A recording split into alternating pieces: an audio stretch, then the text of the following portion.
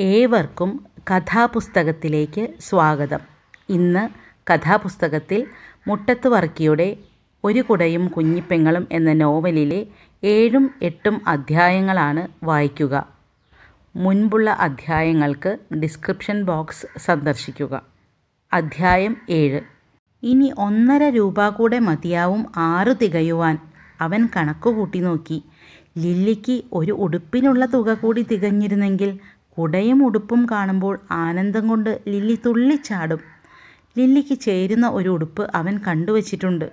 ചെമന്ന തുണിയിൽ വെളുത്ത നക്ഷത്രങ്ങളുള്ള ഒരു ഉടുപ്പ്. അതിന് മൂന്നേകാൽ രൂപയാണ് ചോദിക്കുന്നത്. ഒമ്പതേകാൽ രൂപയുണ്ടെങ്കിൽ രണ്ടും വാങ്ങിക്കാം. പക്ഷേ ആ തുക തികയണമെങ്കിൽ എത്രയോ ദിവസങ്ങൾ കാത്തു കഴിയണം. വരട്ടെ ഉടുപ്പ് പിന്നെ വാങ്ങിക്കാം. ആദ്യം കുട. മോഷ്ടിക്കുന്നത് തെറ്റാണെന്നും പാപമാണെന്നും അവനറിയാം. അവന്റെ കൂട്ടുകാരിൽ ഒറ്റക്കണ്ണനും മറ്റും പലപ്പോഴും മോഷണത്തിനും പോക്കറ്റടിക്കും പിടിക്കപ്പെടാറുണ്ട്. എന്നിട്ടും അവർക്ക് നല്ലവരാകാൻ കഴിയാത്തതാണ് അതിശയം. ബസ് സ്റ്റാൻഡിലെ സിമന്റിട്ട തിട്ടയിൽ അവനിരുന്നു ഉച്ച തിരിഞ്ഞ നേരമായിരുന്നു. അടുത്തു നിൽക്കുന്ന പൂവരശിന്റെ തലക്കനങ്ങൾ അവന്റെ മേൽ തണൽ വിരിച്ചു. സാരി ധരിച്ച ഒരു യുവതി അവന്റെ സമീപത്തു കൂടെ കടന്നുപോയി. അവളുടെ കയ്യിൽ നിന്ന് ഒരു ചെറിയ മണിപ്പേഴ്സ് താഴെ വീഴുന്നത് അവൻ കണ്ടു. അവന്റെ അടുത്താണ് അത് വീണത്. ആ യുവതി അതറിഞ്ഞതേയില്ല അവർ ബസ്സിൽ കയറാൻ പോവുകയാണ്. അവൻ പെട്ടെന്ന് ചുറ്റും കണ്ണോടിച്ചു. ആരും അവനെ ശ്രദ്ധിക്കുന്നില്ല. അവൻ പതുക്കെ കാലുകൊണ്ട് ആ മണിപ്പേഴ്സ് അവന്റെ പക്കലേക്ക് അടുപ്പിച്ചു. ഒന്നുകൂടി ചുറ്റും നോക്കി. ആരും കാണുന്നില്ല. ഞൊടി നേരം കൊണ്ട് അതവൻ നിക്കറിന്റെ ഉറയിൽ നിക്ഷേപിച്ചു. എന്നിട്ടൊന്നും സംഭവിക്കാത്ത ഭാവത്തിൽ അവൻ കുറേ നേരം കൂടി അവിടെ തന്നെ ഇരുന്നു. എങ്കിലും അവന്റെ ചങ്കിടിപ്പ് പതിവിലേറെ വർദ്ധിച്ചിരുന്നു. മണിപ്പേഴ്സിന്റെ ഉടമസ്ഥയായ യുവതിയും യാത്രക്കാരായ മറ്റു പെണ്ണുങ്ങളും ബസ്സിനടുക്കൽ നിൽക്കുന്നത് അവന് കാണാമായിരുന്നു. അവൻ എണീറ്റു പതുക്കെ നടന്നു. അവരുടെ സമീപത്തു കൂടി തന്നെ കടന്ന് അവൻ വഴിയിലെത്തി. പുറകോട്ട് തിരിഞ്ഞു നോക്കി. ആരും അവനെ പിന്തുടരുന്നില്ല. അവൻ വേഗം നടന്നു. കുറേയേറെ ദൂരം നടന്നു. വഴിയരികിലുള്ള ഒരു മരത്തിന്റെ മറവിൽ നിന്നു. അടുത്തെങ്ങും ആരും ഉണ്ടായിരുന്നില്ല. ഉറയിൽ നിന്ന് അവൻ മണിപ്പേഴ്സ് എടുത്തു തുറന്നു. അപ്പോൾ അവന്റെ കൈവിരലുകൾ വിറച്ചു. അഞ്ച് ഒറ്റ രൂപയും ഒരു കാൽ രൂപ തൊട്ടും ഒരണത്തൊട്ടും ഉണ്ടായിരുന്നു. മോഷ്ടിച്ചതല്ല പോക്കറ്റ് അടിച്ചതുമല്ല. അത് പാപമാകുമോ? അവൻ ചിന്തിച്ചു. ഗാഠമായി ചിന്തിച്ചു. അവന്റെ മുൻപിൽ സ്വർണക്കുരുവിയുള്ള കുടയും വെള്ളപ്പുള്ളികളുള്ള ചെമന്ന ഉടുപ്പും അവയുടെ പിന്നിലായി കൊച്ചരിപ്പല്ലുകൾ കാട്ടി പുഞ്ചിരിക്കുന്ന ലില്ലിയും വന്നു നിൽക്കുന്നത് പോലെ തോന്നി. ദൈവം അവന് കൊടുത്തതാകാം. അവന്റെ പ്രാർത്ഥന ഫലിച്ചു. ആ നോട്ടുകൾ അവൻ ഒരിക്കൽ കൂടി എണ്ണി നോക്കി. അവന്റെ ഹൃദയത്തിൽ ആനന്ദമുണ്ടായി. അവൻ തിരികെ ബസ് സ്റ്റാൻഡിൽ ചെന്നു. ഒരു ബസ് വന്നു നിന്ന സമയമായിരുന്നു. പതിവ് പോലെ പിള്ളേരെല്ലാവരും അതിന്റെ വാതിൽക്കലേക്ക് ഓടിയടുത്തു. ബേബി ഓടിയില്ല. അവൻ ആ ബഹളം നോക്കിക്കൊണ്ട് നിന്നതേയുള്ളൂ. മണിപ്പേഴ്സുകാരി പോയി കാണുമെന്നാണ് അവൻ വിചാരിച്ചത്.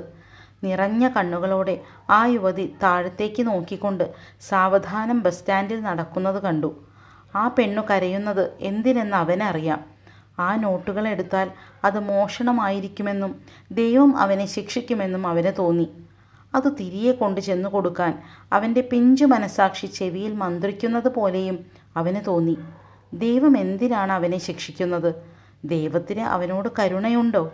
ഉണ്ടായിരുന്നെങ്കിൽ പിന്നെന്തിന് അവനെ ദൈവം ഇങ്ങനെ അനാഥനും ദരിദ്രനുമാക്കി? മിക്കപ്പോഴും അവന് തോന്നാറുള്ള ഒരു ചോദ്യമാണത്.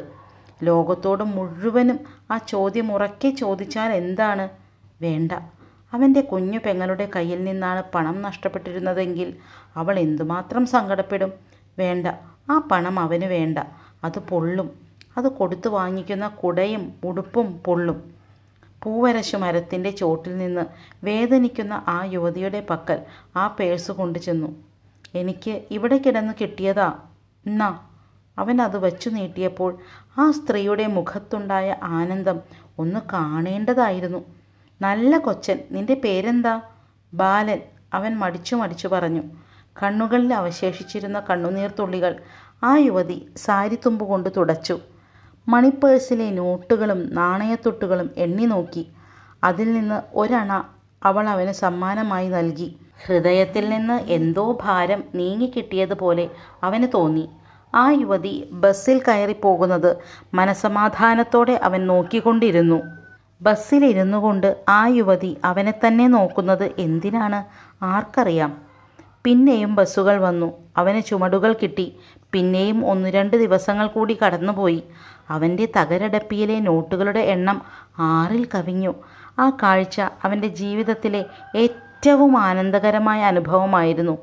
തെരുവ് വിളക്കിന്റെ കീഴിൽ നിന്നുകൊണ്ട് ആരും ആരും കാണാതെ അവൻ നോട്ടുകൾ എണ്ണി നോക്കിയ ആ മംഗള മുഹൂർത്തം.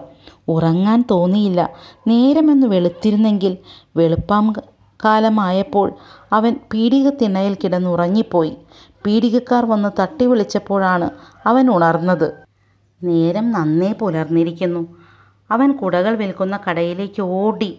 അവിടെ അനേകം കുടകളുടെ കൂട്ടത്തിൽ ആ കൊച്ചു കുട അവനെ നോക്കി പുഞ്ചിരിക്കുന്നത് പോലെ തോന്നി.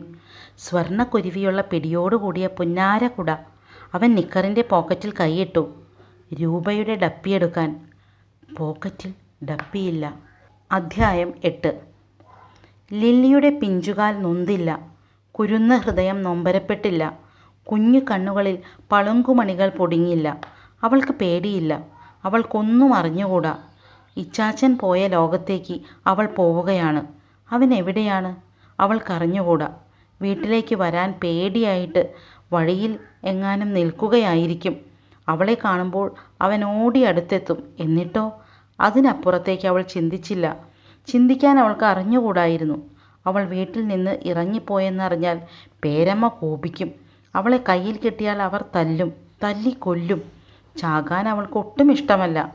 അയൽപ്പക്കത്ത് അവളുടെ പ്രായത്തിലുള്ള ഒരു പെൺകുട്ടി മരിച്ചു കിടന്നത് അവൾ ഓർക്കുന്നുണ്ട്. കുഞ്ഞമ്മണി എന്ന പെൺകുട്ടി ലില്ലിയുടെ കൂട്ടുകാരിയായിരുന്നു. അവർ ഒന്നിച്ച് ഒന്നാം ക്ലാസ്സിൽ പഠിച്ചവരായിരുന്നു. ഒന്നിച്ച് പ്ലാവിലകൾ കൊണ്ട് കുന്നുമാമകളെ ഉണ്ടാക്കി പ്ലാഞ്ചോട്ടിലിരുന്ന് കളിക്കുമായിരുന്നു. ഒന്നിച്ച് കണ്ണാമ്പൊത്താരെയും ഉറുമ്പുറുമ്പും കളിക്കുമായിരുന്നു. ഒരു ദിവസം ആ കുഞ്ഞമ്മണി മരിച്ചുപോയി. പേരമ്മയോടൊന്നിച്ച് അവളും പോയിരുന്നു. കുഞ്ഞമ്മണി കണ്ണുമടച്ച് അനങ്ങാതെ കിടന്നു. ആ മൃതശരീരത്തെ കെട്ടിപ്പിടിച്ച് അവളുടെ അമ്മ വാവിട്ട് കരയുന്നു. താൻ മരിച്ചാൽ കരയാൻ ആരും കാണുകയില്ല. പേരമ്മ ചിരിക്കുകയേയുള്ളൂ. ബേബി കരയും. പക്ഷെ ബേബി എവിടെയാണ്? എന്നിട്ട് കുഞ്ഞമ്മണിയുടെ മൃതദേഹം ഒരു പെട്ടിയിൽ അടക്കം ചെയ്തിട്ട് ആളുകൾ എടുത്തു കൊണ്ടുപോയി. ശവക്കോട്ടയിൽ കുഴി കുഴിച്ച് അവർ ആ കുഞ്ഞിനെ മറവ് ചെയ്തു. അവിടെ നിന്ന് അവൾ ഇനി ഒരിക്കലും എഴുന്നേറ്റ് വരികയില്ല. തന്റെ അപ്പനും അമ്മയും ശവക്കോട്ടയിൽ പോയിട്ട് തിരിച്ചു വന്നില്ല. ഒരിക്കലും തിരിച്ചു വരികയുമില്ല. അമ്മയുണ്ടായിരുന്നെങ്കിൽ അമ്മയുടെ മുഖം അവൾക്കിന്നും ഓർമ്മയുണ്ട്. എന്തൊരു നല്ല അമ്മച്ചിയായിരുന്നു. അവൾക്ക് എന്തുമാത്രം ഉമ്മ കൊടുത്തിട്ടുള്ള അമ്മച്ചി. ആ അമ്മ മരിച്ചപ്പോൾ അവൾ കരഞ്ഞില്ല. അതോർത്തിട്ട് സങ്കടം വരുന്നു. അമ്മ എന്നേക്കുമായി അവളെ വിട്ടുപിരിഞ്ഞു പോകുമെന്ന് അന്ന് അവൾ ചിന്തിച്ചിരുന്നില്ല. ഒരു ദിവസം സായാഹ്നം. മുറ്റത്ത് അവളും ബേബിയും കൂടി ചിരട്ടയിൽ മണ്ണു നിറച്ച് ചക്കരയുണ്ടാക്കിക്കൊണ്ടിരിക്കെ പെട്ടെന്ന് കാറ്റ് വന്നു തെങ്ങുകളും കമുങ്ങുകളും പ്ലാവുകളും എല്ലാം തലയാട്ടി തുടങ്ങി. ആകാശത്തിൽ കൂടി കാർമേഘങ്ങൾ ധൃതി വെച്ച് പോകുകയായിരുന്നു. അമ്മ പശുവിനെ അഴിക്കാൻ അങ്ങേ പറമ്പിലേക്ക് പോയിരിക്കുകയായിരുന്നു. ഓലമടലുകളും തണുങ്ങുകളും ചുള്ളിക്കമ്പുകളും പഴുത്ത ഇലകളും കാറ്റത്ത് അടർന്നു വീണുകൊണ്ടിരുന്നു. അങ്ങകലെ നിന്ന് അമ്മ അവരെ വിളിച്ചു. കാറ്റിന്റെ ശബ്ദ കോലാഹലങ്ങളുടെ ഇടയ്ക്ക് അവർ വിളി കേട്ടില്ല. അവർ മണ്ണുവാരി കളിച്ചുകൊണ്ടേയിരുന്നു. ആകാശത്തിലെ കരിമേഘങ്ങൾ സന്ധ്യയുടെ പൊൻവെളിച്ചത്തെ മറച്ചു. ഒന്നും രണ്ടുമായി മഴത്തുള്ളികൾ വീണു. വേനൽക്കാലത്തിന്റെ അവസാനത്തിലെ ആ മഴത്തുള്ളികൾ കാറ്റത്ത് പൊഴിഞ്ഞു വീഴുന്ന മാമ്പഴങ്ങൾ പോലെ അവർക്ക് പ്രിയങ്കരങ്ങളായിരുന്നു. മഴ ഉറച്ചു പെയ്തു. അവർ മഴത്തുള്ളികളിലൂടെ അങ്ങോട്ടും ഇങ്ങോട്ടും ആർപ്പ് വിളിച്ച് ഓടിക്കളിക്കുകയും ചെയ്തു. അമ്മ വന്നു. അവരോട് ദേഷ്യപ്പെട്ട് അവരെ ശാസിക്കുകയും ചുള്ളിക്കമ്പെടുത്ത് അവരെ രണ്ടുപേരെ തല്ലുകയും ചെയ്തു. എന്നിട്ട് അമ്മ അവരെ രണ്ടുപേരെയും ഒരു കീർ കുറി മുണ്ടുകൊണ്ട് തോർത്തി. എന്നിട്ട് അവരെ ഓരോരുത്തരെയായി അരികിൽ പിടിച്ചു നിർത്തിയിട്ട് ഉടുതുണിയുടെ തുമ്പുകൊണ്ട് ഉച്ച ഒന്നുകൂടി തിരുമ്മി. ഉച്ചിയിൽ വെള്ളം താണ് പനി പിടിക്കാതിരിക്കാൻ. ഉച്ചിയിൽ വെള്ളം താണ് പനി പിടിക്കാതിരിക്കാൻ. ആ രംഗം ഇപ്പോഴും ലില്ലി ഓർക്കുന്നു. ആ അമ്മയെ ഇനി അവൾ കാണുകയില്ല. അവളെ കെട്ടിപ്പിടിച്ചുകൊണ്ട് ഉറങ്ങുമായിരുന്ന അമ്മ. ആ അമ്മയും ഈ പേരമ്മയും പേരമ്മ പുറകെ ഓടി വരുന്നുണ്ടോ എന്ന് അവൾ തിരിഞ്ഞു നോക്കി. വരുന്നില്ല. കുഞ്ഞ് എവിടെ പോണു? അവളുടെ അയൽപ്പക്കക്കാരിയായ ഒരു പാണത്തി ചോദിച്ചു. ഇച്ചാച്ചനെ കാണാൻ. എവിടെയാ കുഞ്ഞിന്റെ ഇച്ചാച്ചൻ? എനിക്കറിയാൻ മേല. എവിടെയാണെന്നറിയാണ്ട് ഒറ്റയ്ക്ക് പോകണ്ട. വാ വീട്ടിൽ കൊണ്ട് ചെന്നാക്കാം. ഇല്ല ഞാൻ വരുന്നില്ല. കുഞ്ഞിന് കിറുക്കുണ്ടോ? വല്ലോനും പിടിച്ചുകൊണ്ട് പോകുമെന്ന്. വാ. ഇല്ല. കുഞ്ഞേ വല്ല വണ്ടിയും വന്ന് ദേഹത്ത് മുട്ടുമെന്ന്. ലില്ലി മുൻപോട്ട് ഓടിക്കളഞ്ഞു. മൂക്കത്ത് വിരൽ വെച്ചുകൊണ്ട് ആ സ്ത്രീ കുറേ നേരം നോക്കി. എന്നിട്ട് വേഗം നടന്നു. ആ സ്ത്രീ ചെന്ന് പേരമ്മയോടെങ്ങാനും പറയുമോ? ലില്ലി കുറേ കൂടി വേഗത്തിൽ നടന്നു. പിരിഞ്ഞു പോകാത്ത ഒരു കൂട്ടുകാരിയെപ്പോലെ അവളുടെ നിഴൽ വഴി കാട്ടിക്കൊണ്ട് മുൻപേ സഞ്ചരിച്ചു. ആരെങ്കിലും പിടിച്ചുകൊണ്ട് പോകുമോ? കാറോ മറ്റോ വന്ന് ദേഹത്ത് മുട്ടുമോ? ഇച്ചാച്ചനെ കണ്ടില്ലെങ്കിൽ എന്തു ചെയ്യും? രാത്രിയിൽ ഉമ്മാക്കികളും പിശാചുക്കളും വന്ന് അവളെ പിടിച്ചു തിന്നുകളയില്ലേ? വഴിയരികിൽ നിന്ന് അവൾ ഏങ്ങി ഏങ്ങി കരഞ്ഞു. അവൾ കരയുന്നത് കണ്ടാൽ അവളുടെ ഇച്ചാച്ചൻ ഓടി വരാതിരിക്കില്ല. ഒരു പ്ലഷർ കാർ ദൂരെ നിന്ന് വരുന്നത് കണ്ടു. അടുത്തെത്താറായി. അവളുടെ ഇച്ചാച്ചൻ കാറിൽ കയറി വരികയായിരിക്കും.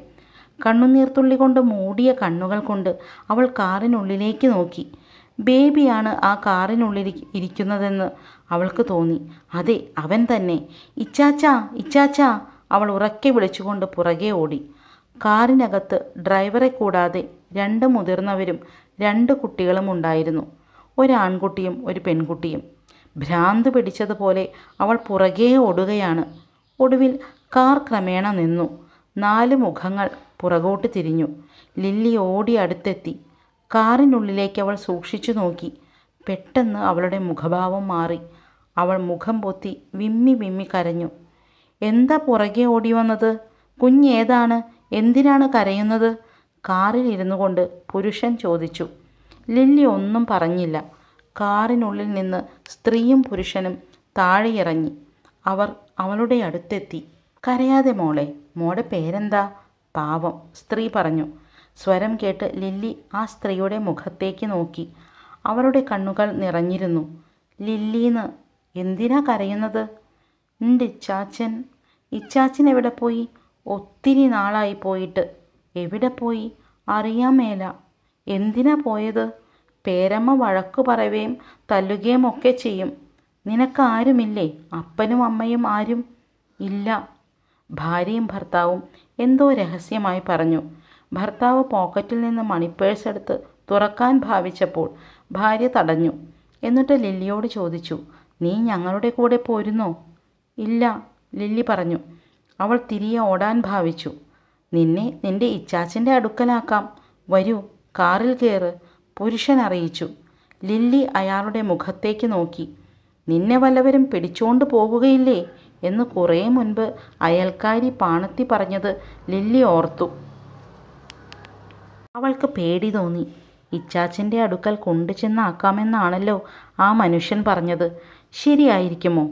അവരെ കണ്ടിട്ട് നല്ല മനുഷ്യരാണെന്ന് തോന്നുന്നു. ഏതായാലും അവളുടെ പേരമ്മയേക്കാൾ നല്ലവരായിരിക്കും. അവൾ പെട്ടെന്ന് നിന്നു. തിരിഞ്ഞു നോക്കി. ആ പുരുഷനും സ്ത്രീയും കാറിൽ കയറാൻ തുടങ്ങുകയായിരുന്നു. സ്ത്രീ അവളെ കൈമാടി വിളിച്ചു. പേരമ്മ അടുത്തെത്താറായി. ലില്ലി കാറിന്റെ അടുക്കലേക്ക് ഓടി. അവളെ ആ നല്ല സ്ത്രീ പിടിച്ച് കാറിൽ കയറ്റി. ലില്ലി കാറിന്റെ അടുക്കിലേക്ക് ഓടി അവളെ ആ നല്ല സ്ത്രീ പിടിച്ച് കാറിൽ കയറ്റി. മറ്റു കുട്ടികളുടെ കൂടെ ഇരുത്തി. കാറിന്റെ ചക്രങ്ങൾ വീണ്ടും ഉരുണ്ടു. കഥാപുസ്തകം ഇന്ന് ഇവിടെ അവസാനിക്കുന്നു. ഏവർക്കും നന്ദി. അടുത്ത അധ്യായവുമായി എത്രയും വേഗം നമ്മൾ കാണുന്നതായിരിക്കും.